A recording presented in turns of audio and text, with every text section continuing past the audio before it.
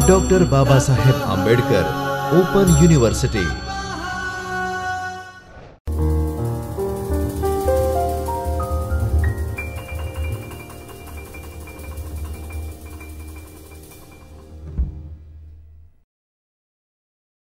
નમસ્કાર વિદ્યાર્થી મિત્રો. ડૉક્ટર બાબા સાહેબ આંબેડકર ઓપન યુનિવર્સિટીના ચૈતન્ય સ્ટુડિયોમાં હું ડૉક્ટર સોનલ આપ સર્વ વિદ્યાર્થી મિત્રોનું હાર્દિક સ્વાગત કરું છું. ઇતિહાસ વિષયમાં અગાઉ આપણે ફિરોજ શાહ તુગલક અને મોહમ્મદ તુગલક, એટલે કે તુગલક વંશના મહત્ત્વપૂર્ણ બે શાસકો વિશે અભ્યાસ કર્યો અને આ જે છે એ પેપર એસવાયબીએમાં પેપર નંબર ત્રણ, એટલે કે એચઆઈએસએમ અને એચઆઈએસએસ મુખ્ય અને ગૌણ બસો ને ત્રણ નામનું પેપર ભારતનો ઇતિહાસ ઈસવીસન છસો ને પચાસથી ઈસવીસન પંદરસો ને છવ્વીસ સુધીનો. અને આ પેપરમાં જે સલ્તનત સત્તા હતી, આ સલ્તનત શાસકો વિશે આપણે અભ્યાસ કરી રહ્યા હતા. જેમાં છેલ્લા લેક્ચરમાં આપણે ફિરોજ શાહ તુગલક, એની સિદ્ધિઓ, એના લશ્કરી અભિયાનો વગેરે વિશે આપણે અભ્યાસ કરી ચૂક્યા છીએ. અને આજે આપણે સલ્તનત શાસકોમાંના એક મહત્ત્વપૂર્ણ શાસક અને એક મહત્ત્વપૂર્ણ વંશ એમના વિશે અભ્યાસ કરીશું? આમ તો ગુલામો દ્વારા સ્થાપિત સલ્તનત સત્તા, કુતુબુદ્દીન ઐબક, કે એક જે ગુલામ હતો અને એના પછી ખિલજી વંશ, તુગલક વંશ અને તુગલક વંશ પછી દિલ્હીની ગાદી ઉપર સૈયદ શાસકો શાસન કરે છે.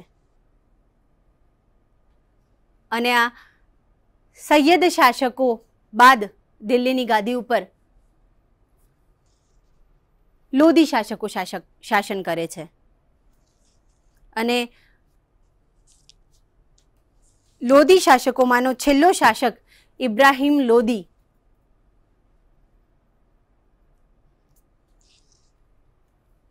ઇબ્રાહિમ લોદીને બાબર હરાવે છે. અને દિલ્હીની ગાદી. એ સુલતાન શાસકો, સલ્તનત સત્તામાંથી મુગલ શાસકો પાછે, શાસકો પાસે. કે મુગલ શાસકો ત્યારબાદ શાસન કરે છે. આમ આજે સૈયદ શાસકો અને લોધી વંશ, સૈયદ અને લોધી વંશ વિશે અભ્યાસ કરીશું. આ સૈયદ અને લોધી વંશના શાસકો કોણ હતા? અને લોધી વંશનો એક મહત્વપૂર્ણ શાસક સિકંદર લોધી આ સિકંદર લોધી વિશે આજે આપણે જાણીશું.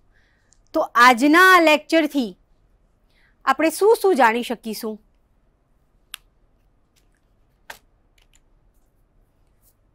આજના આ લેક્ચરથી દિલ્હીની ગાદી ઉપર સૈયદ વંશની સ્થાપના.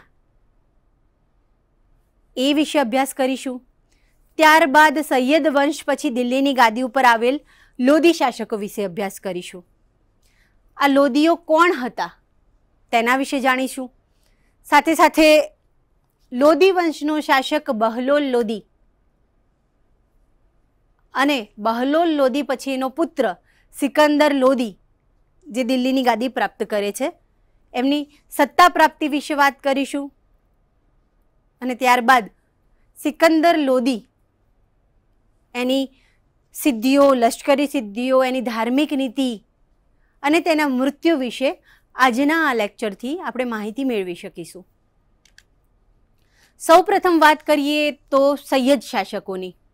મિત્રો, ફિરોઝ શાહ તુગલક એ તુગલક શાસકો કે તુગલક વંશમાં છેલ્લો એક મહત્વપૂર્ણ શાસક, જેના વિશે આપણે ગયા લેક્ચરમાં અભ્યાસ કર્યું હતું, એની સિદ્ધિઓ વિશે પણ જાણ્યો છે.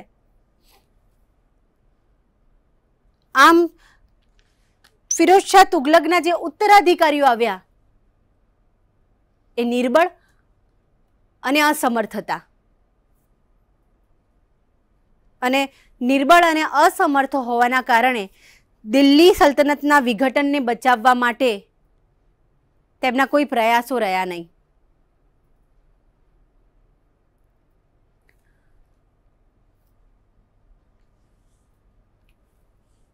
તુગલક શાસક નાસિરુદ્દીન મોહમ્મદ શાહના સમયમાં મધ્ય એશિયાના મહત્વકાંક્ષી શાસક તૈમૂરે ભારત ઉપર આક્રમણ કર્યું.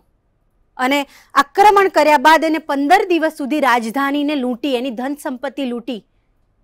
અને અનેક ધન સંપત્તિ લૂંટ્યા બાદ તે પોતાના સ્વદેશ પાછો ફરે છે. અને આ સમયમાં જ્યારે તૈમૂરે ભારત ઉપર આક્રમણ કર્યું અને દિલ્હી દિલ્હી ઉપર આક્રમણ કરી અને જ્યારે રાજધાની જ્યારે લૂંટી રહ્યો હતો, ત્યારે તુગલક વંશનો શાસક જે નાસિરુદ્દીન મોહમ્મદ શાહ જે ગાદી ઉપર હતો, એ દિલ્હી છોડીને નાસી જાય છે. જ્યારે તૈમૂર સ્વદેશ પાછો ફરે છે, ત્યારે નાસિરુદ્દીન મોહમ્મદ શાહ એ દિલ્હી પરત આવે છે. પરંતુ ત્યારબાદ એની જે પરિસ્થિતિ છે એ ઈસવીસન ચૌદસો ને ચૌદ સુધી ખૂબ ખરાબ હાલતમાં એ દિલ્હી ઉપર પોતાનું રાજપાટ કરે છે.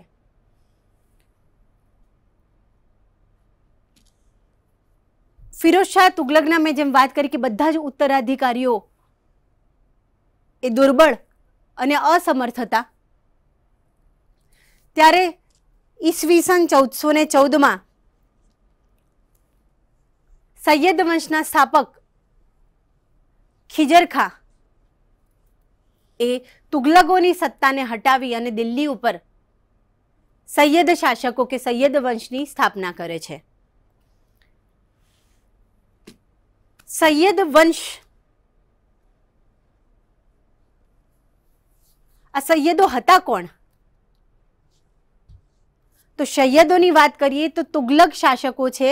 આ તુગલક શાસકોના આધીન સેનાનાયકના રૂપમાં ખિજર ખા પોતે કાર્યરત હતો અને જ્યારે તૈમૂરે ભારત ઉપર આક્રમણ કર્યું, ત્યારે ખિજર એ તૈમૂરનું આધિપત્ય સ્વીકારે છે અને જેના કારણે એને પંજાબ પ્રાપ્ત થાય છે.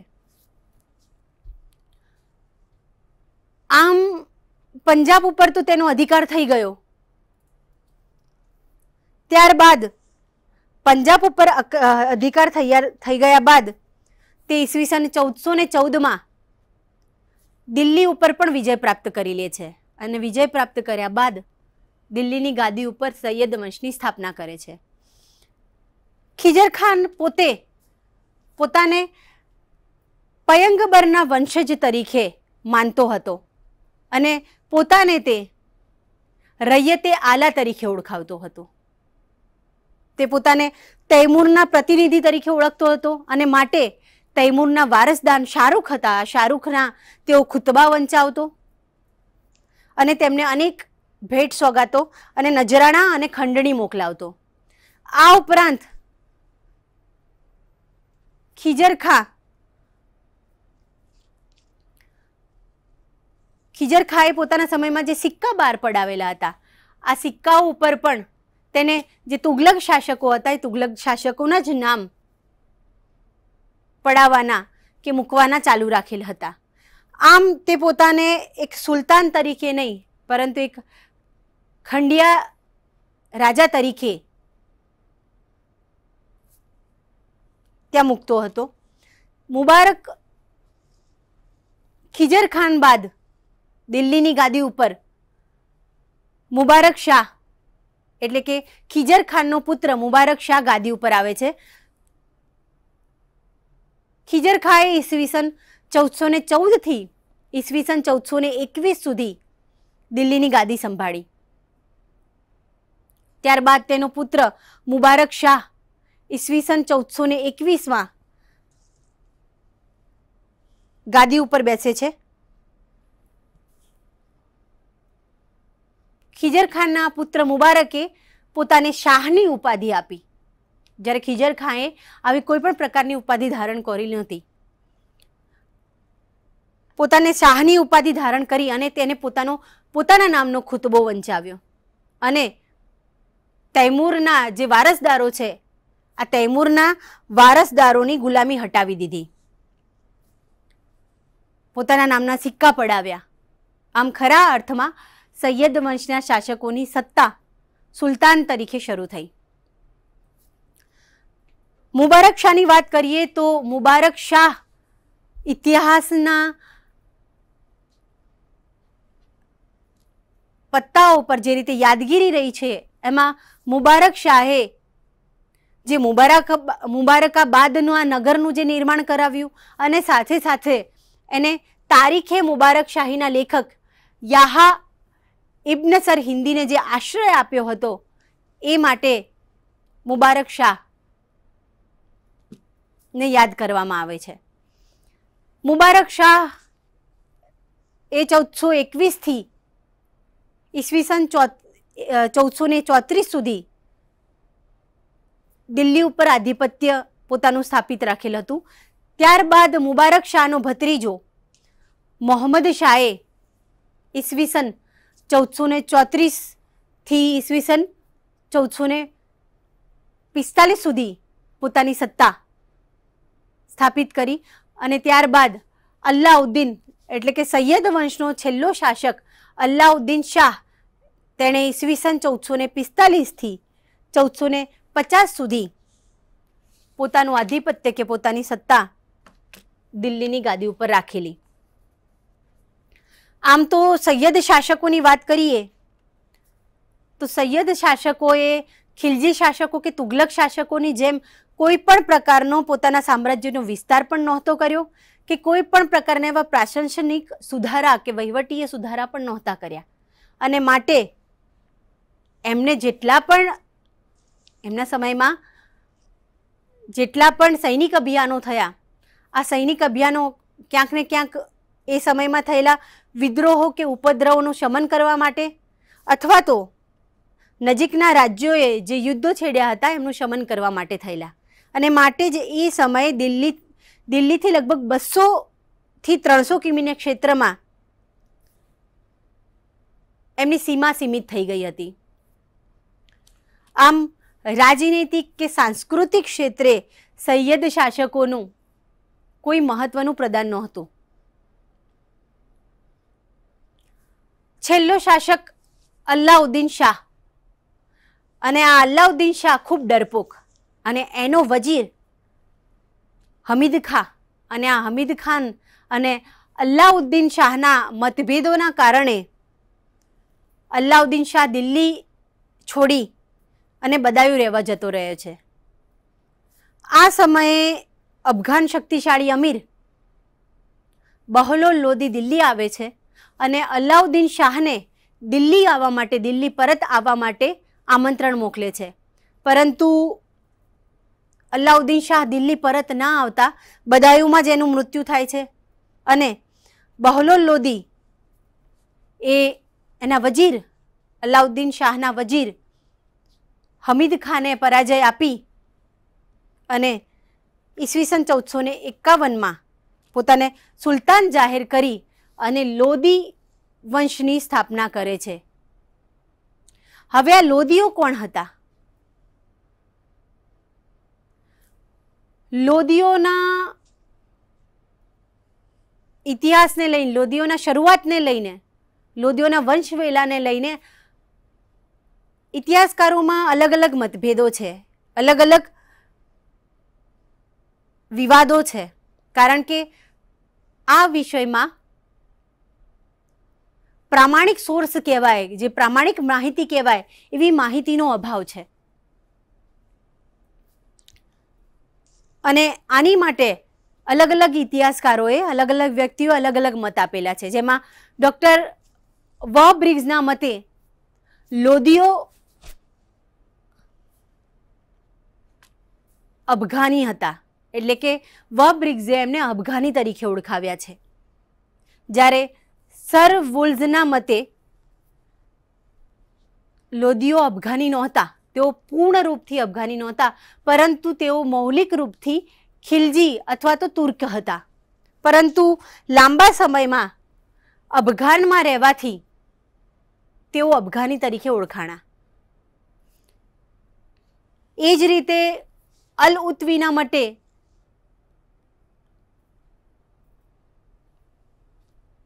લોદીઓની પ્રવૃત્તિથી મોહમ્મદ ગજની પ્રભાવિત થાય છે અને આ પ્રભાવિત થયા બાદ મોહમ્મદ ગજની પોતાની સેનામાં લોદીઓનો સમાવેશ કરે છે.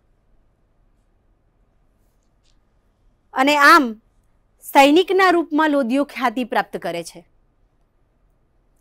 ત્યારબાદ મોહમ્મદ તુગલકના શાસનકાળમાં જે સૈનિક તરીકે ખ્યાતિ પ્રાપ્ત કરતા આવ્યા, ગજનીના સમયથી જે સૈનિકો હતા એ ધીમે ધીમે સારા પદો ઉપર સારા પદો પ્રાપ્ત કરે છે, ઉન્નતિ કરે છે. જેમ કે મોહમ્મદ તુગલકના શાસનકાળમાં સામંત પદ ઉપર તેઓ હતા. ત્યારબાદ ફિરોજ શાહના સમયમાં સૈનિક, સૈનિકમાંથી સામંત, સામંતમાંથી ફિરોજ શાહના સમયમાં તેઓ પ્રાંતીય ગવર્નરના હોદ્દા સુધી પહોંચે છે. પોતાની સેનામાં મોટી સંખ્યામાં અફઘાનોની ભરતી કરી હતી. આ સાથે સાથે તૈમૂર જ્યારે ભારત આવે છે ને, ત્યારે તૈમૂર ભારતમાં પણ અફઘાનોને સાથે લઈ આવે છે અને તેમને પંજાબમાં વસાવવામાં આવે છે. આમાંના જ સુલતાન શાહ લોદી આ સમયનો એક મહત્વપૂર્ણ વ્યક્તિ હતો અને દૌલત ખાને પ્રથમ અફઘાન શાસક હતો. આગળ વાત કરીએ મિત્રો. તો સૈયદ વંશના સુલતાનોના શાસનકાળમાં પણ આ લોદીઓ છે એ પ્રાંતોની સુબેદારી પ્રાપ્ત કરેલી હતી. અને બહલોલ લોદીની ખાસ વાત કરીએ, તો આ બહલોલ લોદી જે અફઘાનોની પેટા જાતિ શાહુખેલનો હતો, એ મોહમ્મદ શાહ કે સૈયદ વંશના શાસક મોહમ્મદ શાહના સમયમાં ખાને ખાનાની ઉપાધિ ધરાવતા હતા. અને મોહમ્મદ શાહ તેમને પોતાના પુત્ર સમાન ગણતા હતા, એટલે પુત્રનો એમને દરજ્જો આપેલો હતો. જ્યારે અંતિમ શાસક આલમ શાહના વજીર હમીદ ખાનને મારી અને ઓગણીસમી એપ્રિલ ઓગણીસો એકાવનના રોજ બહલોલ શાહ ગાઝી એવું નામ ધારણ કરી અને બહલોલ શાહ ગાદી ઉપર બેસે છે. અને સૈયદ વંશની સત્તા હટાવી અને લોધી શાસકોની સત્તા દિલ્હી ઉપર સ્થાપિત કરે છે. બહલોલ શાહની વાત કરીએ તો બહલોલ શાહના શાસનનું મહત્વપૂર્ણ બિંદુ એ છે કે એના સમયમાં એણે સલ્તનતની પ્રતિષ્ઠાની પુનઃસ્થાપના કરી. અત્યાર સુધી જે ફિરોજ શાહ તુગલક બાદ જે સુલતાનો આવ્યા કે જેમની લથડતી હાલતમાં એમને દિલ્હીની ગાદી સંભાળી રાખી હતી અને જે પ્રતિષ્ઠા જે ખોવાઈ ગયેલી હતી એ પ્રતિષ્ઠાને બહલોલ લોદીએ પુનઃસ્થાપિત કરી. સાથે સાથે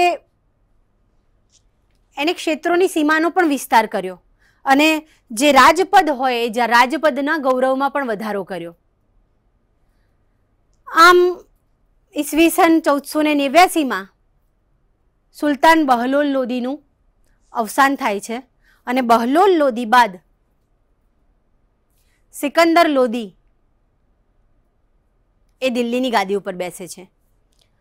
સિકંદર લોદીની વાત કરીએ મિત્રો. સિકંદર લોદી એ બહલોલ લોદી અને એની ત્રીજી પત્ની હેમા કે જે એક સુવર્ણકારની પુત્રી હતી. આ સુવર્ણકારની પુત્રી હેમા અને બહલોલ લોદીનું સંતાન, એટલે સિકંદર લોદી. અને આ સિકંદર લોદીને બાળપણમાં નિઝામ શાહ તરીકે ઓળખવામાં આવતો હતો. એટલે કે એનું મૂળ નામ નિઝામ શાહ હતું. બહલોલ લોદી પોતાના પત્ની હેમા, એમની ત્રીજી પત્ની હેમાને ખૂબ પ્રેમ કરતા હતા. અને જેના પરણના પરિણામે સ્વાભાવિક રીતે એ પોતાના આ પુત્ર નિઝામ શાહને પણ ખૂબ જ સ્નેહ કરતા હતા. અને માટે બહલોલ લોદી ઈચ્છતા હતા કે એમના ઉત્તરાધિકારી તરીકે નિઝામ ગાદી સંભાળે. નિઝામના સંરક્ષક તરીકે ખાને ખાના ફાર્મુલીની નિમણૂક કરી અને સંભલની સુબેદારી નિઝામને આપવામાં આવે છે. ચોક્કસપણે અનેક ગુણોથી પરિપૂર્ણ એવા નિઝામ ઉપર બહલોલને ખૂબ જ વિશ્વાસ હતો અને સાથે સાથે એની શક્તિ ઉપર પણ ખૂબ જ વિશ્વાસ હતો. અને આ સુબેદારી દરમિયાન અંબાલાની નજીક તારતાર ખાને બહલ નિઝામ હરાવે છે. જેને પરિણામે બહલોલ એ સિકંદરને પોતાના ઉત્તરાધિકાર ઉત્તરાધિકારી તરીકે ઘોષિત કરે છે. ત્યારબાદ બહલોલ ખૂબ બીમાર પડે છે અને આ બીમારીના હાલતમાં જ્યારે અમીરો દ્વારા એને એના ઉત્તરાધિકારી તરીકે પૂછવામાં આવે છે, ત્યારે પણ બહલોલ લોધી એ નિઝામને પોતાના ઉત્તરાધિકારી તરીકે ઘોષિત કરે છે. પરંતુ આ સમયે નિઝામ એ દિલ્હીથી એંસી કિલોમીટર દૂર હતા. ત્યારે બહલોલના આમ કહેણથી જ્યારે એ દિલ્હી પરત ફરે છે કે છાવણી, દિલ્હીની નજીકની છાવણીમાં પરત ફરે છે, પરંતુ નિઝામ માટે ગાદી મેળવવી એ સમયે સહેલી નહોતી. એના બે ભાઈઓ, બારવક શાહ અને આઝમ હુમાયુ, નિઝામનો વિરોધ કરે છે. અને પોતાને વારસદાર તરીકે, સત્તાના શાસક તરીકે લેવા માટે આ વિરોધ ચાલુ રહે છે. પછીથી જ્યારે અમીરોની જ્યારે સભા થઈ, ત્યારે માત્ર ને માત્ર ખાને ખાના ફોર્મ્યુલીના સહયોગથી કે સત્તર જુલાઈ અને ચૌદસો ને ઓગણપચાસમાં જલાલીમાં સિકંદર શાહ લોદી એવું નામ ધારણ કરી અને નિઝામ એ દિલ્હીની ગાદી ઉપર બેસે છે કે દિલ્હીની ગાદી પ્રાપ્ત કરે છે. અને આમ બહલોલ લોદી પછી સિકંદર શાહ લોદી એ દિલ્હી સલ્તાનના, દિલ્હી સત્તાના સુલતાન તરીકે જાહેર થાય છે. સિકંદર લોદીના અલગ અલગ અભિયાનો વિશે વાત કરીએ? આગળ વાત કરીએ તો એમના લશ્કરી અભિયાનની. પોતાના કાકા આલમ ખાન પાસેથી એ રાપડી પડાવી લે છે. સાથે સાથે પોતાના પિતરાઈ ભાઈ આજમ હુમાયુ, કે જેણે પોતાને સ્વતંત્ર શાસક તરીકે ઘોષિત કર્યો હતો અને પોતાને દિલ્હીના સુલતાન સમજી બેઠેલો હતો. એને પરાસ્ત કરી અને તે કાલ્પી કાલ્પી પ્રાપ્ત કરે છે, એ જ રીતે ઝાલોરના વિરોધી સરદાર તારતાર ખાનને પણ એ પરાસ્ત કરે છે. આ જ રીતે જોનપુરમાં પોતાની સ્વતંત્ર સત્તા ઘોષિત કરનાર પોતાના મોટા ભાઈ બારબક શાહને પણ તે હરાવે છે અને તેને ત્યાંથી હાકી કાઢે છે. એ જ રીતે બંગાળના હુસેન શાહને તે પરાજિત કરે છે અને બંગાળના હુસેન શાહને પરાજિત કર્યા બાદ તે સમગ્ર બિહારને સલ્તનત સાથે જોડી દે છે. આમ સલ્તનતની સીમાઓ લગભગ મુંગેર સુધી વિસ્તૃત થઈ જાય છે. આ બધાની સાથે મધ્ય ભારતમાં પણ સૈનિક અભિયાન સિકંદર હાથ ધરે છે. જેમાં જેની સાથે સાથે ગ્વાલિયરના રાજા માનસિંહ વગર યુદ્ધે સિકંદરનું આધિપત્ય સ્વીકારી લે છે. અને અનેક પ્રકારના ભેટ સોગાદો અને નજરાણાઓ માનસી એ સિકંદર શાહને મોકલે છે. આ સાથે સાથે ધોલપુરના શાસક વિનાયક દેવને ઈસવીસનને પંદરસો ને ચારમાં સિકંદર શાહ પરાજિત કરે છે. એ જ રીતે એ જ વર્ષે મંદોલ ઉપર પણ અધિકાર પ્રાપ્ત કરવામાં આવે છે.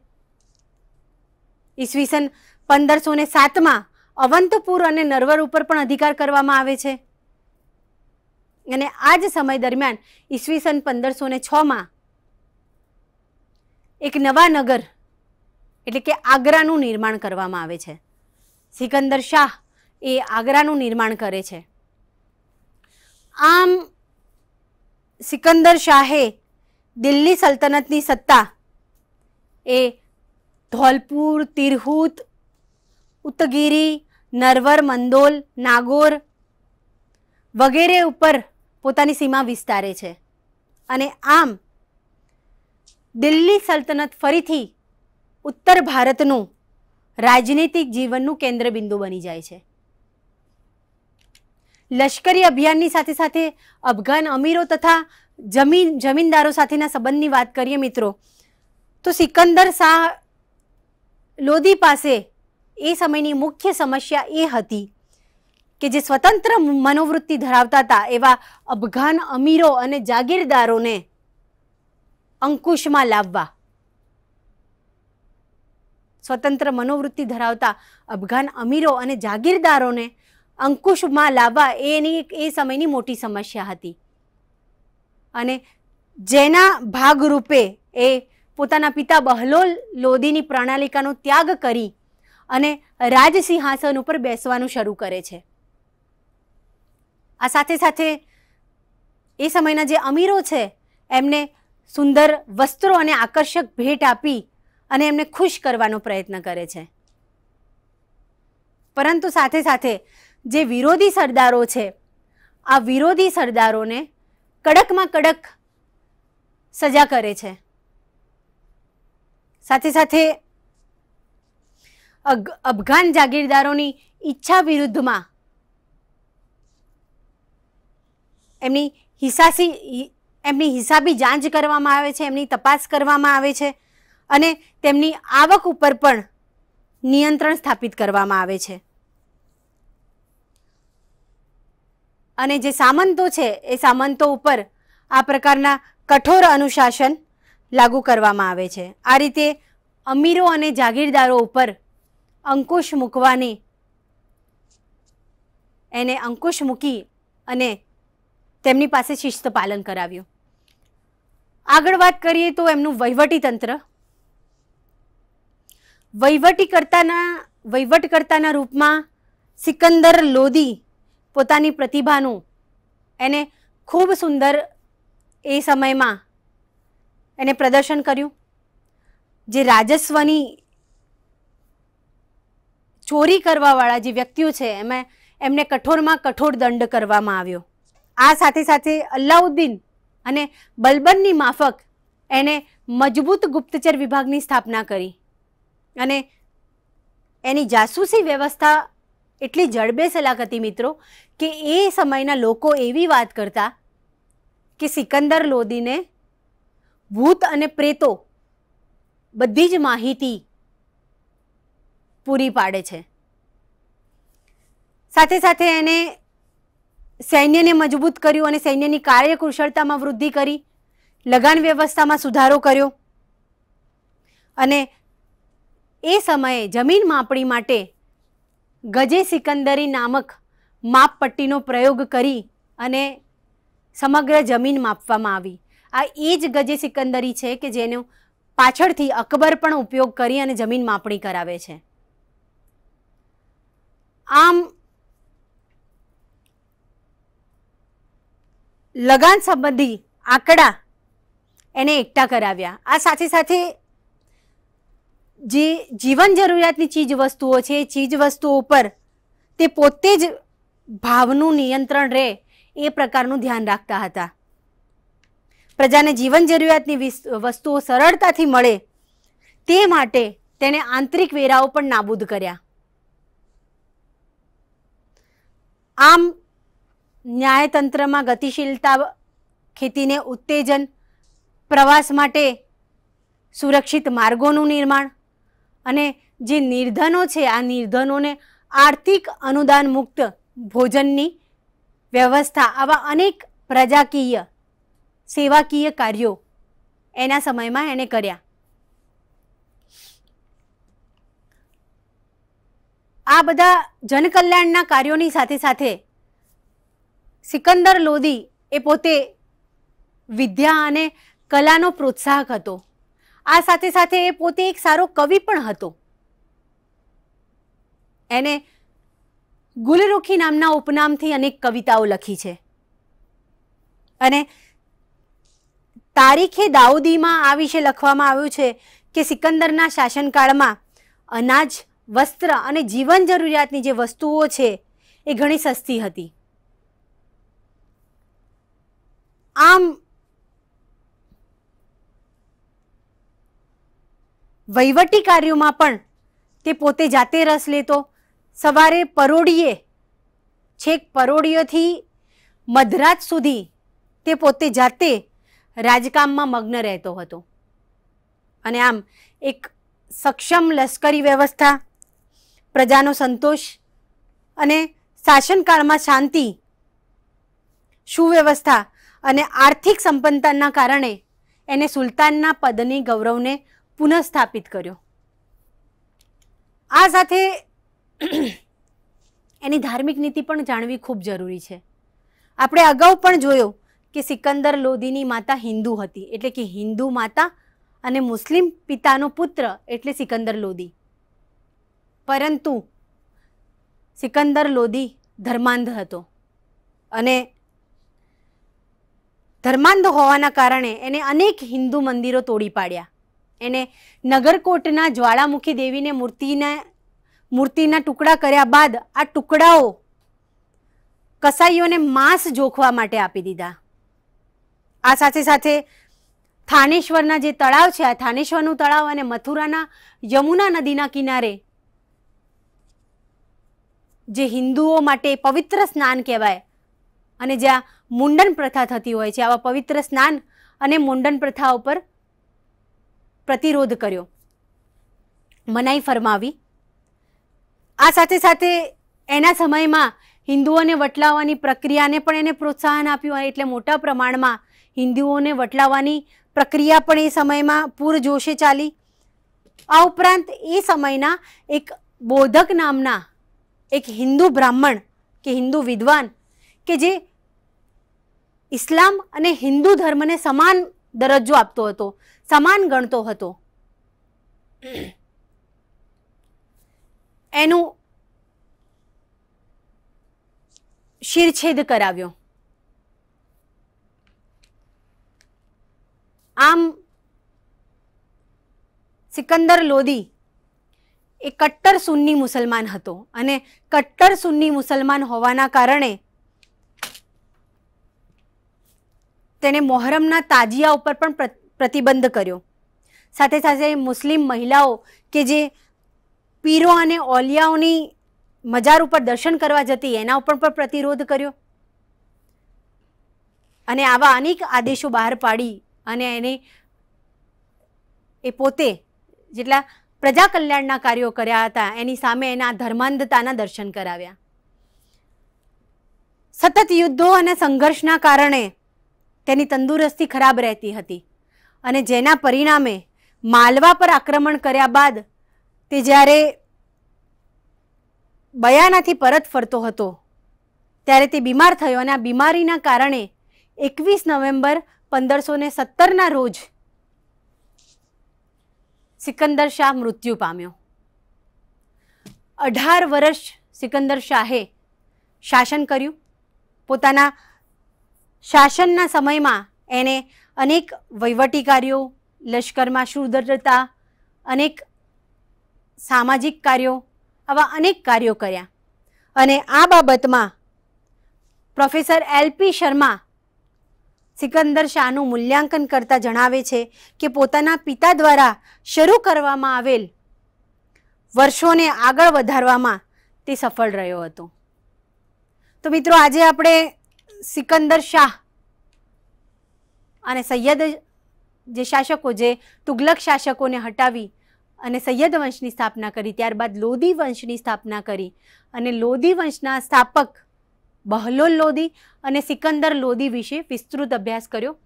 હવે પછીના લેક્ચરમાં એક નવા વિષય સાથે મળીશું. અસ્તુ. પરમા